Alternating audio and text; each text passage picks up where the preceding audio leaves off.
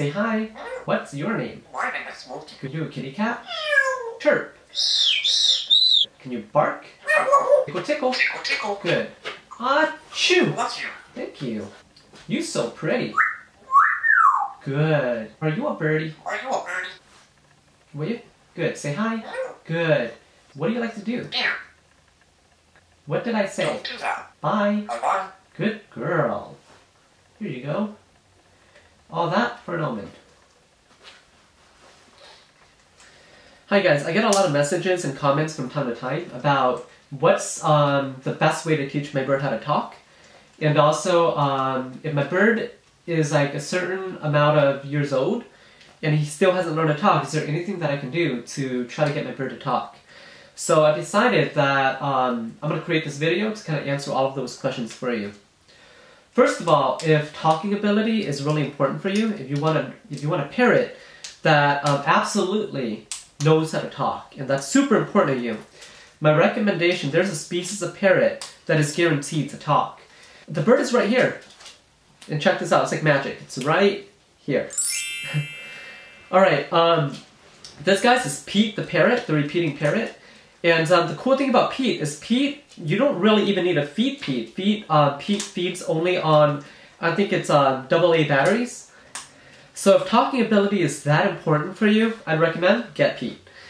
But um, I will say this, all kidding aside, guys, um, if you are really getting a parrot just for the purpose of getting a bird that talks, you really shouldn't be getting one. And um, I know it's ironic that I have an African Grey, and I'm saying, you know, these kinds of things. But the honest truth is, I didn't get Smokey for her talking ability, and I don't think that it is fair for anybody to get a bird just um, for the sake of getting a bird that talks. But I will tell you guys this, um, although Smokey talks a lot, and she knows how to say a lot of things on cue, that's not the reason that makes Smokey so special to me. And for me personally, the ability for a human and an animal to connect and make um, and form, you know, such a strong bond, that's really what I think is remarkable. And um, I think you guys get the idea that if you're going to get a bird that's just for the sake of talking, don't get one. But with all of that aside, here's what I will tell you regarding talking ability. What is it, Smokes? Not all parrots have the same ability to mimic. In the parrot family, African greys are probably the number one birds that are most likely um, going to learn how to talk. Aside from African greys, though, um, the Amazon parrots, namely the double yellowhead Amazon, the yellow-naped, and the blue-fronted Amazons, and also the yellow crown, those are the ones that are most um, likely to talk um, as well. So if you guys are getting, for example, a cockatiel they're not going to be as unlikely able to talk as, say, an African Grey. But that doesn't mean that they're not going to be as good of pets as African Greys are. And this is the next thing that I um, want to talk about in my video. And that is, and I promise guys I'm going to get to the whole um, topic about how you can increase the chances of your bird learning how to talk. But before I even get there, I think it's really important for me to mention this now, because I've always um, wanted to do a full-length video on it, and there's so much that I want to say about it, but I'll try to keep it all short. Another question that I've heard so much about is almost every single one of my videos, I always get someone who comments, um, what's the best starter bird? Or I'm new to keeping birds, what's um, kind of like the first bird that I should get? And here's what I will tell you. There is no such uh, thing as a starter bird. Um, I know that a lot of bird books will recommend that people get budgies or cockatiels. Come on, step up. Good. Because um, they feel like those kinds of birds are better off as starter birds. But I think it is really misleading to get a bird thinking that it's going to be a starter bird because that gets people to think that these birds are more disposable, which they're not. And if you're going to get a bird, for example, as a cockatiel or a budgie, a parakeet, as kind of like your starter bird. The problem with that is that if you do end up getting a larger bird and you're not, and noise isn't like something that you are prepared for, a cockatiel uh, by itself, they're relatively, and I say relative because um, it's relative to all the other parrots. Cockatiels are fairly, I would say, quiet birds. But they do screech. And even though one cockatiel, or even two, might not screech that much, if an African grey or an Amazon, or even a macaw, uh, manages, and they will, copy that screech, they will amplify that sound 10 times, maybe even 20 times louder. So now you have um, a problem. And if everybody were to have that mindset of getting a starter bird, don't worry guys, you're gonna poop, but I have a box below, so it's gonna catch your poop. But if everybody gets into the mindset that they should always start off with a budgie or a cockatiel, then that means that every single person who has a parrot um, would have one, which I think is not really um, also a very a fair thing to do for the bird. And this is my personal opinion that if you're going to get a parrot, any species at all, you gotta first do your own research. And by research, I don't mean watching my videos. Um, that could be a start, but you guys need to do um, a lot of research on parrot behavior and talk to people who have parrots. Uh, maybe even volunteer at a bird rescue center. Because just interacting with a bird for maybe one time at a bird store does not give you the whole picture of what it's like to live with these animals. Um, I'll give you an idea. Cockatoos, macaws, and the Aratinga conures, which are sun conures, Jenday conures, and blue crown conures, they are extremely loud. And some people don't realize how loud they really are. And you guys might think that you're able to keep up with the noise, but the honest truth is most people can't. And most people don't realize that, unfortunately, till after they get the bird. And just a little message on the side here, especially to my younger viewers. When I was um, younger, and I think this was back when I was early in high school, I always wanted a sun conure. Whenever I went to the bird store, they were bright, colorful birds. They were super affectionate and playful, and I always wanted one. So I told myself I can't wait until I save up enough money so I can get myself a sun conure. Now that I'm older and I can um, just go out and get a sun conure, I don't. And I don't, and I'm really glad that I wasn't able to when I was younger, because I know for a fact that it would drive me crazy, the noise would drive me crazy. Because although the sun conures um, are really small, their screech is really high pitched and extremely loud.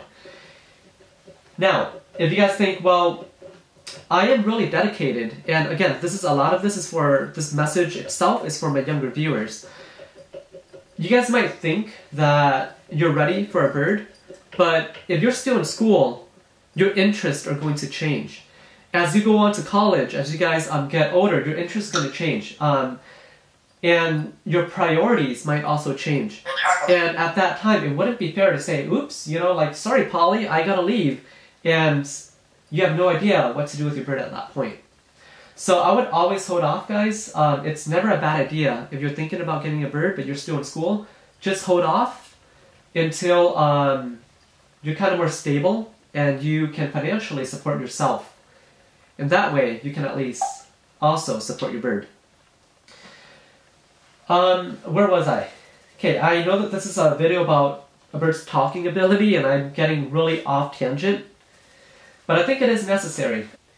I definitely don't recommend people um, getting macaws, cockatoos, African greys, or any of the large parrots uh, with the with this misconception that you know getting a larger parrot it makes a better pet. Honest truth is, it, not quite. And a lot of the smaller parrots, if you really have to get a parrot, a lot of the smaller ones um, can make just as good of pets as the large ones. Parrotlets, for example, um, cockatiels. Not only do they, not only can they get really affectionate and they love interaction as much as a large parrot, but the cool thing about those is that because they are so small, you guys um, don't, you can easily get a cage where they can um, easily fly in. Smokey's aviary is huge. Um, if you guys watch some of my other videos, it's not everybody can accommodate an, av an aviary that's that big. But if you guys have a smaller bird like a parrotlet or a cockatiel, um, you can provide them with proportionally a really good sized enclosure for them to be able to fly in. So that's just some things I want you to think about. I would also recommend that instead of buying from a bird store, which um, I totally advise against, if you guys can, um, look into adopting from a, a bird shelter because there's a lot of birds that do need homes. A lot of macaws, especially and cockatoos, because a lot of people get them without really understanding what um, the responsibilities are to take care of such a large um, bird. Now, if you guys did stay with me through all of that talk, um, let's now jump into the topic of this video, which is talking. So the first thing is this if you're expecting to get a bird that's gonna talk, you gotta select a species that's gonna um, that are known for talking. Of course, remember what I said. Talking ability should not be the number one make or break it criteria. But if that is one of your criteria for a bird, then um, the best talking ones I would say are African greys, the Amazons, um, budgies, the parakeets can also learn to talk really well. And a few other tips is this if you guys already bought like a tape recorder that repeats words or phrases over and over, what you want to do is you want to take that and you want to throw it in the trash. Because that's useless. Your bird might be able to learn maybe one or two words um, off of that, but eventually your bird is gonna kind of get really annoyed with that. I mean, if you got, if you played it to yourself, you would get totally annoyed with that as well. So your bird is eventually gonna zone out and kind of see that as background noise. The best way that I've found to teach a bird how to talk is to make it meaningful for your bird. So instead of standing here and saying, hello, hello, hello, every time I open the door to come greet Smokey, I would, I would always say hello. And eventually she learns that, oh, I get it. When, the, when um, my human walks in, I'm always greeted with hello. So she learns that there that word is associated with an action. So when things are more meaningful, the bird learns it a lot more. And I'm sure I'm gonna show you guys something really cool. I'm gonna exit this door right now, and all of this, guys, is kind of like filmed candidly. So I'm not gonna edit any of this stuff out. So I'm gonna open this door in a second and leave the room. Watch what Smokey's gonna say, watch what I tell her, and watch what she says in response. See you later. I don't know if you guys got that. But she said it. She said, I'll be back. And that's not something that I trained her how to do. It's just whenever I leave the room, I used to tell her, I'll be back. So now she's learned that whenever I leave the room, she says that word. And the cool thing is, when you teach your birds how to talk meaningfully, they can um, communicate with you um, in ways that would not be possible if they were just to mimic what you say. So your bird could learn um, how to associate certain actions with um, words. Smokey, let me see if she'll do this one. Can I see your foot? Can I see your foot? Let me see your foot. Good. So, um, for me, I would really recommend, if you guys are trying to train, train your bird how to talk, talk to them meaningfully, like you would a child. And that way, not only, not only do they learn faster, but they also learn how to associate, um, talk more in context. Another tip I would give you is parrots are most uh, receptive to training. The most receptive to training, both um, trick training and also by they're also most verbally engaged with you when the sun first comes up and also when the sun begins to set. So anytime before noon and also anytime right before sunset, that's when they learn um, the most. So I would try to talk to them most during those times. And I also have um, another tip for you. Smokey, even though she says a lot of things, there are very few things that she would say in my voice. And that's kind of surprising. She would say a lot of things in uh, my wife's voice. She would say things in my parents' voice. So I think that as what it boils down to is that she sees my wife, she sees my parents, as her rival for my attention. So if you're having a hard time training your bird how to talk, try to get somebody else in your family to um, talk to your bird because if they see um, your family members as a rival for your attention, they'll be more likely to copy that to try to get your attention um, because they know that when somebody else talks to you and they say a certain word, that kind of gets your attention. So they'll try to also um, mimic that. Right, Smokes? Guys, I know that's a lot of information. Hopefully it's not too overwhelming. Okay, so before I forget later on in this video, I do want to mention this as well. The point of my videos isn't to inspire people to go out and get a bird for themselves, but instead it's to inform people of what um, is kind of involved in keeping a bird like this, in keeping um, such an intelligent animal, and also ensuring that they are thriving in our homes. And I also, a bigger point of my videos is so that people who do have parrots have a resource and have um, this information that they can refer to to kind of modify their bird's behavior and also to develop a deeper re relationship with the bird that doesn't involve using punishment or using aversives with their bird. Smokes, come here. Step up. Good. Give me a kiss. Good bird. Is there anything else? Okay, Smokes. I never taught her this, guys, but check this out. Can you say something? Smokey, say something. Alright. I literally, I seriously never taught her that, but whenever I told her, can you say something? She really just, um, she says candid stuff. Sometimes she'll meow, other times she'll do sounds, but um, I never taught her that, which I thought is pretty cool. Let's see what she'll do next. Smokey. Okay. Can you say something? Say something. You're a stinker. Okay. You are. Alright. I also know that there are some myths out there about how to get your bird to talk more. And one that I know is really common, or one that I, I guess I hear a lot, is that if you feed your bird um, pepper, that they will talk more. And somebody once told me the reasoning behind it. Um, I think that's complete nonsense. Um, from a scientific perspective, the reason why pepper is, is spicy is because of a chemical called capsaicin. And parrots do not have a receptor for capsaicin, so they cannot taste spice. Um, they do, however, really like peppers. So if you guys are feeding your bird pepper, um, your bird's gonna like it. They're actually pretty good for your bird. They're high in vitamin A, but they're not gonna help your bird to talk any better than your bird already is. So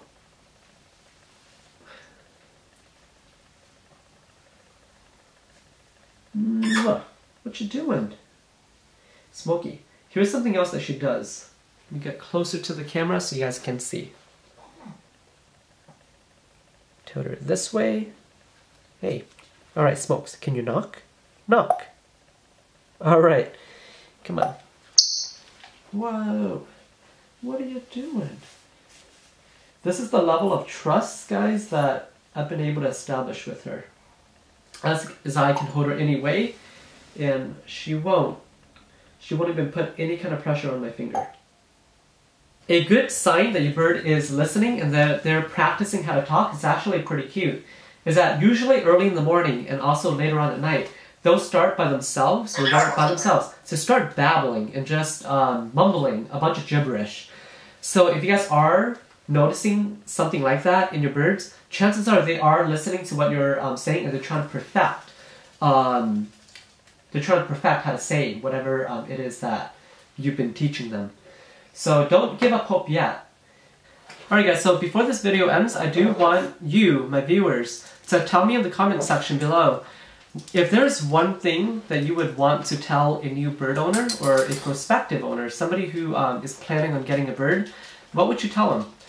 Let me know that um, in the comment section below. If you guys are thinking about getting a bird, make sure you guys check out the comment section below after this video so you can um, see what other bird owners are saying. So hopefully that was helpful. If you guys can do me a favor, click the like button below and also share this video so that we can hopefully get this message and this information across to everybody who is planning um, on getting a bird in the future. Alright, so Smokey and I, we hope that you guys have a great start to your new year, and we'll see you guys all next time.